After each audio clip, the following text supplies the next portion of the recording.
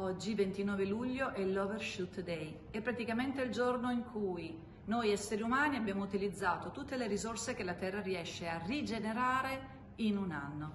È come dire che stiamo utilizzando 1,6 pianeti.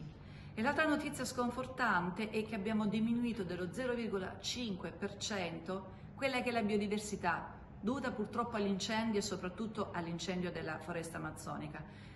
Quello che noi facciamo, sia come Movimento 5 Stelle e a livello appunto governativo, è quello di riuscire ad effettuare una giusta decarbonizzazione e una tutela di quelle che sono le nostre risorse naturali, con una serie appunto di azioni, di riforme che abbiamo inserito nel Piano Nazionale di Ripresa e Resilienza e che stiamo portando avanti.